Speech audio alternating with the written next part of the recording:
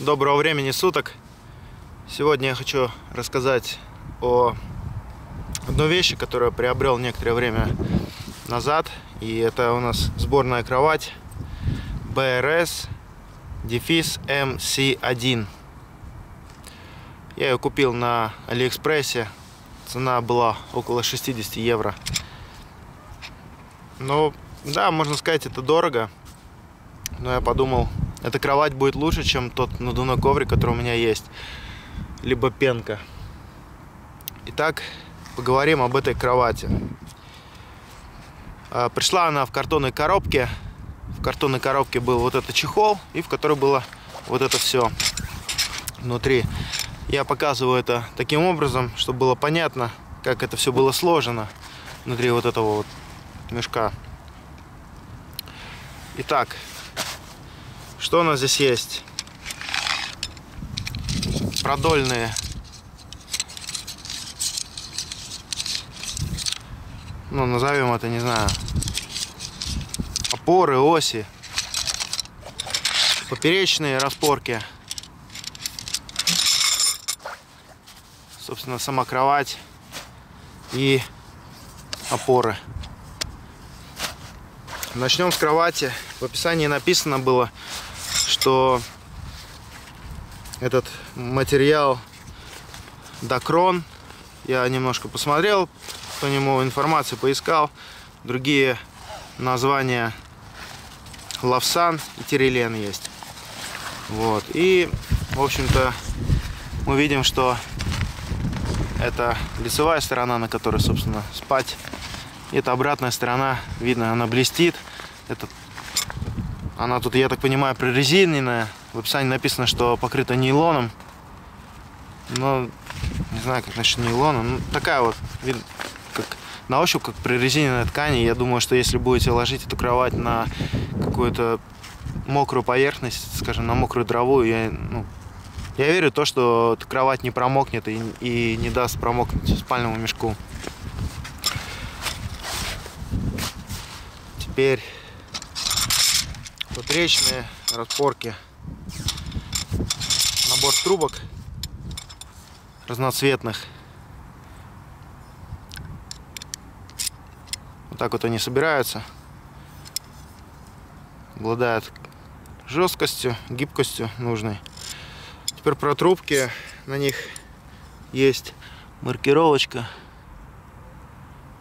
Это 70-75. Это сплав алюминия в интернете написано, что это в сплаве у нас такие основные, ну, основные да, части, из которых состоит сплав, это алюминий, цинк, магний и медь.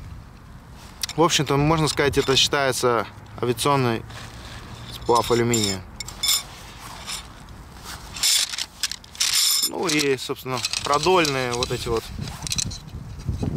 палки, оси знаю, как хотите. И видим здесь затычки на концах, чтобы легче было вставлять в кровать. И внутри раздета резинка. Я думаю, тут особого ума не надо иметь, да, чтобы понять, как это все собирается. Все сделано очень просто. Ну и, собственно, опоры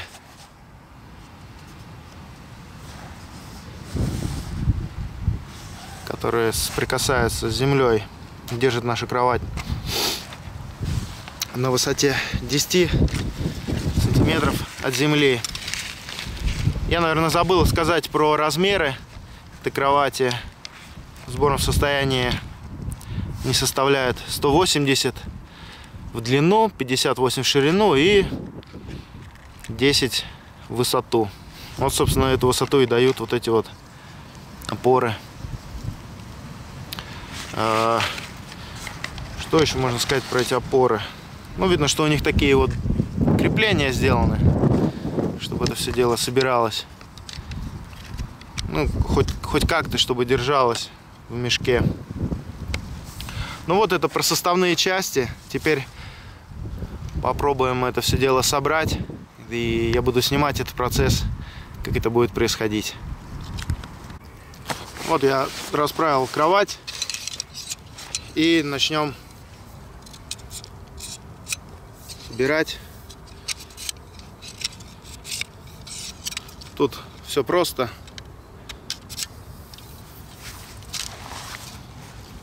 Вот тут начинается самое сложное, собственно. И нужно будет провздеть вдоль вот эти вот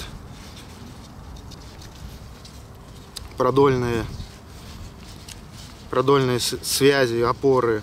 И, ну, единственное, вот, что мне не понравилось, да, вот эти места, они, мне кажется, будут со временем трепаться немножко. Видно, что они просто, это просто вырезы. То есть не, не обшито ничего. Не знаю, ну посмотрим. Ну вот они как бы вылезают каждый раз, поэтому нужно их поправлять. Одним рывком не получится это сделать как бы это не было удобным, естественно. Вот, собственно, так это делается. Я сейчас вставлю две штуки и посмотрим, что из этого получится, и будем двигаться дальше. Вот я, прав, сделал две штуки. Видно, что уже у кровати есть такая продольная жесткость. И раздевая это, я заметил то, чего я так боялся, да, то, что в одном месте, как бы, я собирал эту кровать один раз. И в одном месте уже видно ткань начинает расходиться. Это заметил только сейчас. Но я не думаю, что она разойдется по всей длине. То есть это, я думаю, нужно вообще гигантское усилие, чтобы это произошло. Но это просто такой неприятный момент. Так, теперь что у нас с поперечными связями? Как я уже показывал, вот так вот это собирается дело. И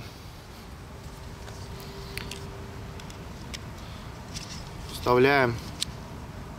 Вот видно. Одну сюда.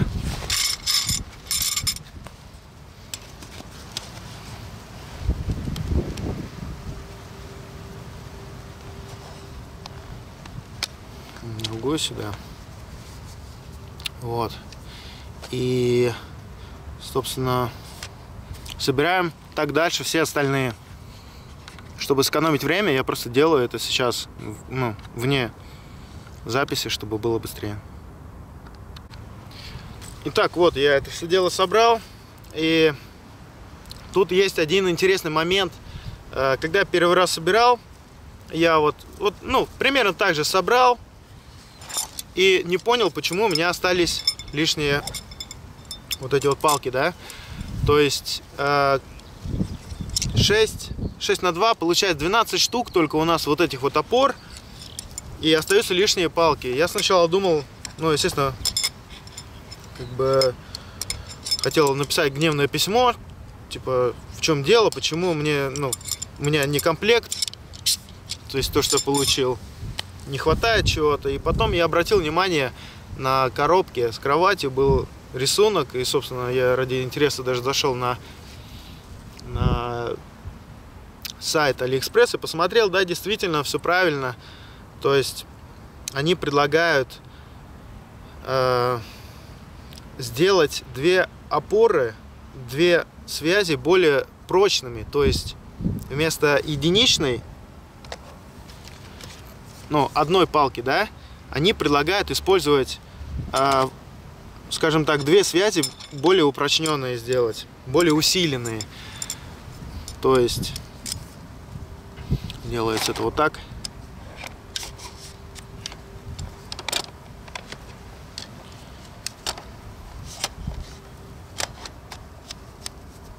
И прикол в том, что именно вот э, там было нарисовано, что они должны быть перекручены. То есть вставляем с одной стороны держатель идет в одну сторону, с другой в другую. И, в общем-то, это все дело вот так вот переворачивается, и мы видим, что связи, вот эти вот палки, да, они перекрученные. Но я не знаю, как бы, конструктору, конечно, виднее, зачем это делается. Единственное, что мне в голову пришло, это чтобы, наверное, более тяжелые участки тела, и поэтому как бы идет больше усилия на эти палки, поэтому и вставляется две, и они перекручиваются, чтобы э, не знаю, чтобы, может быть, наверное, сбалансировать нагрузку, чтобы, ну, одна получается, может, больше изгибать, чем другая, поэтому, когда они перекручены, наверное, получается, что они обе в одинаковой степени распределяют эту нагрузку весовую. В общем-то, ну, получается так, что две, две опоры, да, мы делаем усиленными. А, мы, естественно, переворачиваем, все как положено. Так, что-то здесь неправильно. То есть вот так вот это выглядеть будет. И сейчас я буду это все дело собирать. Мы посмотрим, как это все выглядит. Ну вот, собирается это так же, как и я видел видео, да? А, где девушка азиатской внешности это все делает. Очень ловко у нее это получается. Собственно, делается это так. Упираемся ногами в края. С одной стороны, как вам видно? Вроде видно. Заправляем через отверстие, да? И здесь такое немножко силы понадобится, чтобы оттянуть, собственно, ее наверх и зацепиться вот этим крючком, вот этим вот, вот сюда. Тянем наверх. Так, стоп. Да. И вставляем. Вот. Вот так вот это выглядит. И вставляем. Я сейчас попробую показать. Дело в том, что в этой кровати идет 8 пар отверстий. Вот мы видим 3, 2, и еще три. И, а всего у нас только сколько? шесть опор. И мы вставляем, собственно, как хотим их, как нам удобней. Но в моем понимании, я так понимаю, ставим точно первую и последнюю. Потом две в серединку. То есть это вот именно вот эти вот две, да? И еще добавляем между ними, наверное, по одной. Либо, да, я думаю, сюда еще по одной добавим. Я сейчас это сделаю и покажу, как это выглядит все в сборе. Вот, собственно, я это все дело собрал. В моем понимании это выглядит вот так вот. То есть зоны, где нужна большая поддержка, мы вставляем двойные связи. Вот так вот они выглядят в перекрученном виде. Ну, собственно, грузоподъемность этой кровати заявлена как 100 килограмм. Вот так вот это все дело выглядит. На мой взгляд, неплохо. Достаточно высоко над землей.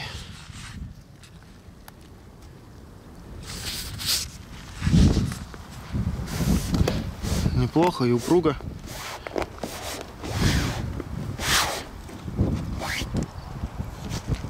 Сейчас я даже кину для такого случая сюда маленький спальник. Посмотрим, как это выглядит в ширину, в длину. Вот, собственно, я положил наверх спальничек такой легкий, чистолетний. И мы видим, что места вполне хватает. Э, в описании спальника сказано, что он сколько? 190 сантиметров. И общем-то, не знаю, насчет 190, ну кровать чуть больше. Ну, я думаю, этого вполне хватает. Я попробую в будущем эту систему все проверить. Может быть, даже буду снимать мой выезд куда-нибудь, не используя эту кровать, и посмотрим, что она, собственно, как она работает, и тогда уже скажу свою оценку. Ну, так вот, пока я это все дело не использую, мне это все очень нравится, несмотря на какие-то мелкие недочеты. И, в общем-то, пока я доволен. Ну, а сейчас соберу это все дело в мешочек и Ветер поднимается уже, стаскивает спальник. Ну и покажу, как это дело выглядит собранное все в пакетике. Ну вот кровать вот так вот выглядит в собранном состоянии. Все упаковано внутри. И очень похоже на то, что заявленные 40 сантиметров в длину и 12 сантиметров в диаметре. Все это очень похоже. Пишите комментарии, что вам, может быть, есть какие-то вопросы. Может быть, вам понравилось это видео, может быть, нет. И всегда можно это написать в комментариях, и я по возможности отвечу на ваши вопросы. И подписываемся, если вам нравится такого рода видео. И я думаю, на этом будем закругляться. Всего хорошего, до новых встреч.